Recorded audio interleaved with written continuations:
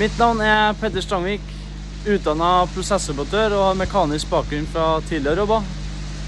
Jeg er en av flere servicenikere i Scale akvakultur, og vår oppgave er å bistå kunder med reparasjoner, vedlikehold samt nyinstallasjon av utstyr fra oss i Scale.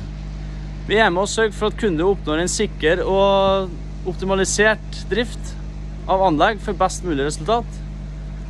Fordelen med jobben min er at jeg får være her ute på site, der alt skjer.